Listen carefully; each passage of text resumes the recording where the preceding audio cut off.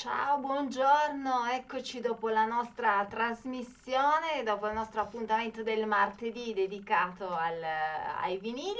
Eh, siete stati tantissimi anche quest'oggi, quindi vi ringrazio come sempre, anzi è stato anche interessante perché abbiamo parlato di tantissime cose e naturalmente siamo andati anche a parlare di musica. Lo scorso martedì avevamo lanciato il tema anche del naturismo e della musica, io sono andata a cercare un po' di vinili e di, devo dire la verità, ho avuto un po' di eh, difficoltà, ma eh, ho sicuramente trovato questo che tra l'altro andiamo anche a togliere proprio dal, dal piatto e eh, come vedete insomma è Vinicio Capostela e la sua Modi è uno dei brani uno del secondo album di cui lui insomma ha ottenuto eh, grande successo e eh, perché ho scelto questo? Perché come vedete dalla copertina in qualche modo eh, la donna che viene rappresentata è eh, diciamo così, eh, rappresentata nella sua eh, bellezza nel, del suo corpo. Tra l'altro un album che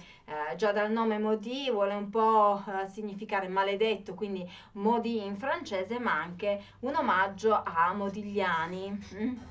Quindi eh, detto questo, insomma, poi voi in qualche modo avete un po' eh, cercato di darmi qualche suggerimento, eh, come ha fatto Peter che mi ha detto di guardare insomma i video, io non me li ricordavo, di Elisa, di Even, Event Out, oppure Elenis Morissette Thank You, o ancora The Beloved, Sweet Harmony, insomma ehm, video in cui appunto la bellezza femminile non solo viene eh, lasciata così in tutta la sua interezza. Eh, ci siamo poi posti il problema se questi video venivano realizzati per, eh, diciamo così, creare un personaggio o semplicemente perché proprio credevano nell'arte e quindi nella eh, naturalezza dell'arte. Insomma, abbiamo iniziato un po' a chiacchierare e come sempre poi però eh, il tempo è, è, scaduto e non avevamo più eh, tempo a nostra disposizione e così abbiamo, eh, ci siamo dati nuovamente appuntamento a martedì prossimo, come sempre alle 9 per eh, un'altra giornata dedicata ai vinili non solo solo.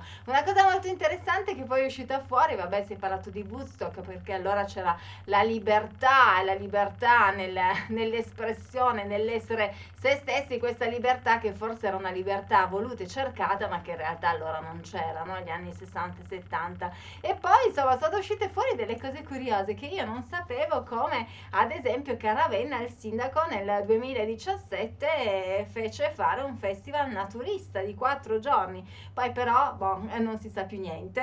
Ma a parte questo, insomma, ehm, questo come tanti altri luoghi hanno suscitato comunque tanto interesse.